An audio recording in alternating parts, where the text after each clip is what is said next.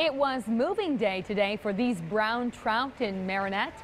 DNR crews were busy stocking 50,000 fish into the waters of Green Bay. And what a great day to do it. This is all part of a three-year effort to increase the population of the brown trout in that area. Reminds me of the song Splish Splash.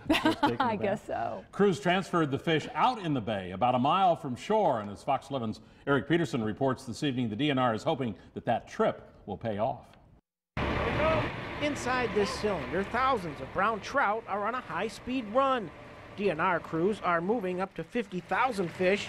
The yearlings are 9 to 10 inches long. The bigger the fish that we stock, the, the more of a head start it gets on life. And so if you stock smaller fish, they're at more of a risk to be um, consumed by other fish. Waupaca Foundry provided the site along the Menominee River. We added four large cleats and two small cleats to our dock wall.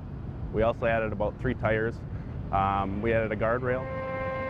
The research vessel Coregonus made the delivery. Our goal is to get out over 50 feet of water or deeper, um, normally outside of a mile from shore. The fish were born and raised in the Thunder River hatchery in nearby Crivitz. The DNR says without these stocking efforts, catching a brown trout in these waters would be somewhat difficult. We don't believe that the water um, quality and the temperature and, and some other factors in these rivers over here um, is conducive for brown trout to reproduce. Tammie Paoli says more walleyes and more cormorants have taken a toll on the fish. According to DNR surveys from 1990 to 2000, fishermen caught an average of 10 to 15,000 brown trout each year.